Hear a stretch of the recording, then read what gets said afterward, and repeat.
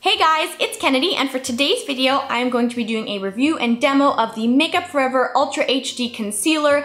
This came out not too long ago and I'm excited to show you guys just how I use it and tell you my thoughts about this product. So if you are interested then please keep on watching. So first, I'm going to be going in with the Sephora Bright Future Color Corrector in the shade 04 Peach Light, and I'm just going to be dotting that under my eyes. So as you can see, I've put four dots under my eye here, just going around the darkest part of my eye, and then I'm just gonna be using my ring finger and a beauty blender if needed to blend this all out.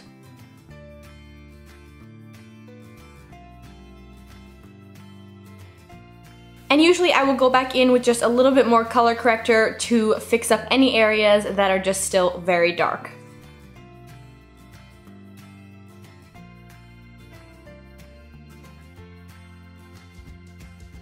So hopefully you guys can see a difference. I know I can. It just makes my under eye circles look not as scary, a little bit less dark, which is what I want, and it just makes it easier to conceal them afterwards. So now I'm gonna go in with my foundation, and then I will come back and show you guys the concealer that we've been waiting for.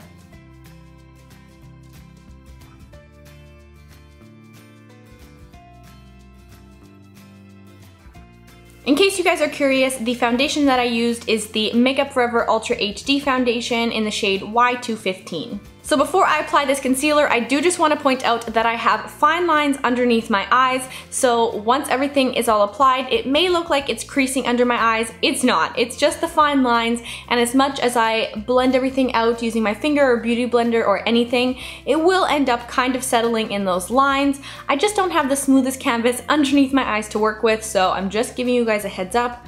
This is real life, that's my struggle, so yeah, let's just get into the application.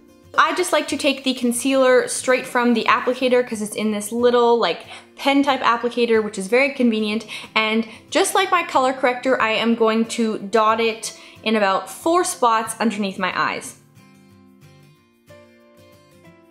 And I'm just gonna do one eye first to show you guys a little bit of a difference. It would have been more dramatic of a difference had I not put any other makeup on this side of the face, but we're just gonna go with it. And now I'm just gonna blend this out using my ring finger and a beauty blender.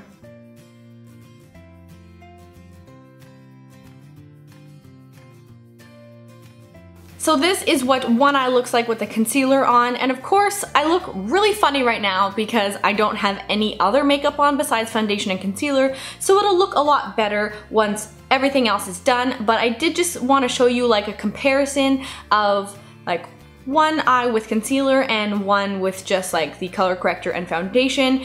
In person, I can notice a bigger difference than you can probably see on camera, but overall, I do really like this product.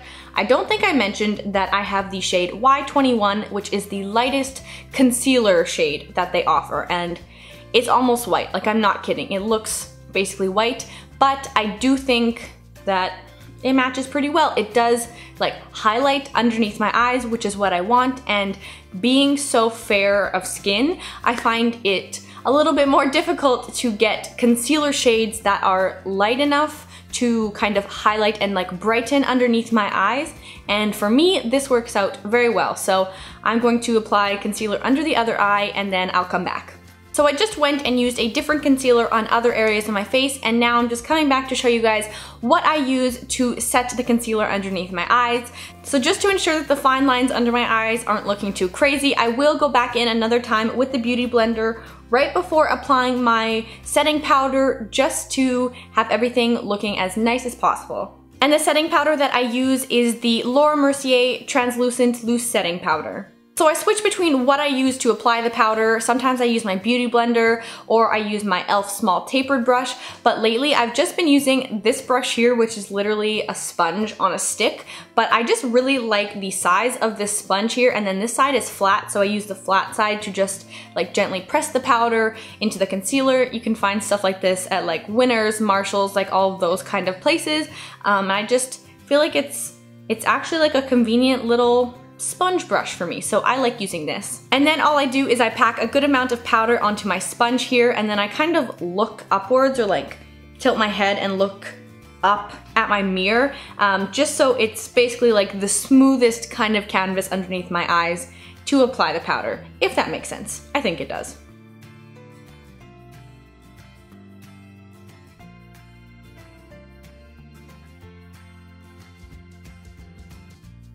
So being the genius that I am, I didn't even realize that my camera was out of focus for I don't even know how long, like probably the whole application of the concealer and a powder. So I'm very sorry. I guess when I had to change the battery on my camera, I changed the focus and I wasn't even paying attention.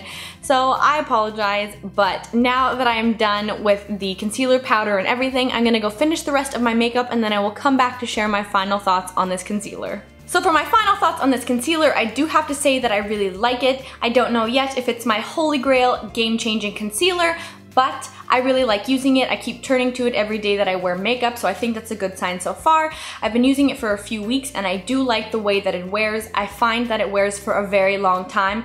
Some days when I work very early, I have like 12 to 15 hour days of wearing makeup um, and it holds up very well so I'm very happy about that like like I said um, the fine lines are one thing underneath my eyes, but I do not find that this creases any more than just kind of sitting in the fine lines, but it's easy enough that I can just like take my ring finger throughout the day and just kind of like push the product around a little bit. Not saying that it doesn't set and that it moves around, but I can kind of like you know, just blend it out a little so the fine line situation doesn't look so bad.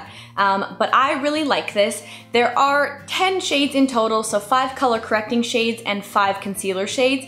I do think that is a con because there is not a wide range of colors, but knowing Make Up For Ever, I have a feeling that they will release more colors in the future because their Ultra HD foundation has 40 different shades to choose from. So I feel like they're just like launching this product, trying it out, and I can imagine they would release more shades in the future. Um, I was fortunate enough having very fair skin to find a shade that actually works for my skin tone and also manages to brighten my under eyes because most of the time when I am looking for products, I am so fair that I can find a product that maybe matches my skin tone, but doesn't necessarily do the work of brightening it. And this one is so light, it's almost kind of white, but I think that kind of works to my favor sometimes, um, works in my favor, but it brightens my under eyes and that's what I want. So I really like this. And I do like using it with my Sephora color corrector as well on its own. Like I said, very white. So I feel like this really helps um, to, you know, make it look not like I put white paint underneath my eyes, which sounds scary.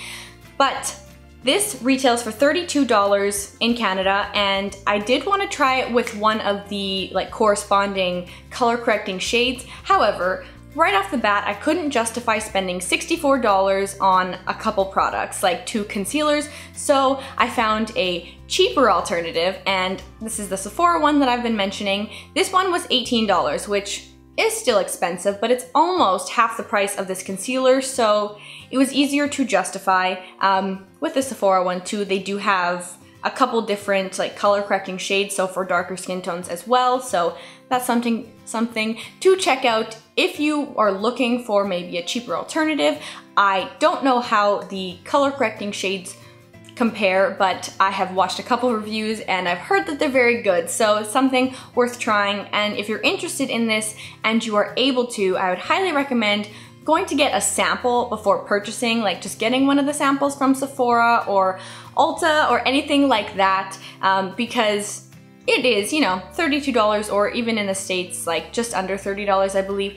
It's a pretty good chunk of change, so it doesn't hurt to get a sample, and then if you love it, then you can buy the actual product. And just comparing the amount of product in this to another one that I always turn to, my NARS Radiant Creamy Concealer, this one you get 7 mils or 0.23 fluid ounces in here, and then the NARS one has 0.22 fluid ounces or 6 mils of product. So it's roughly around the same. This one is even a little bit cheaper than the NARS one and you get a little bit more product. So I think a fairly standard amount of product. But that is it for my video today. If you guys have any questions about this concealer, please leave them in the comments below and I will be happy to answer them. But thank you guys so much for watching. If you enjoyed it, please make sure to give it a big thumbs up and subscribe to my channel if you haven't already. And I will see you guys in my next video. Bye! It has just a very like sweet kind of scent. don't know how to describe it, but I just, I got sucked in because it was so cute. So, story of my life at Lush. Also, if you guys know of any super hydrating eye creams, please leave them in the comments below because I'm on the hunt for a new one. My under eye area is just so dry and I'm using a Dermadoctor eye cream right now but I could be using something that is much more hydrating and I'm doing a lot of research looking up like all these things on Sephora, trying to find one that doesn't necessarily break the bank, but if it works, then I'm willing to pay for it. So if you guys know of anything, please let me know.